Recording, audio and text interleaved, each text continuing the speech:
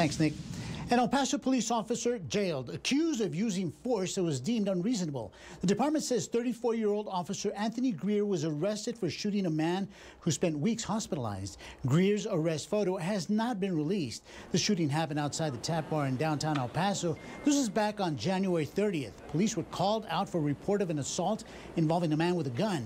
Investigators told ABC 7 back then that when officers arrived, the man pulled out the weapon and refused to put it down. That's when police said the officer shot the man.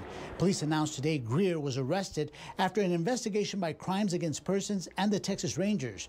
Investigators determined the man who was shot did not present a threat of serious bodily harm or injury or death to the officer. They say the officer's use of deadly force was deemed unreasonable. Greer is charged with aggravated assault. This is the man who was shot. We want to show you right now. Eduardo Daniel Reyes of Arizona.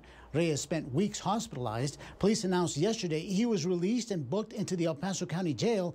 He is charged with two counts of aggravated assault with a deadly weapon for what happened on January 30th.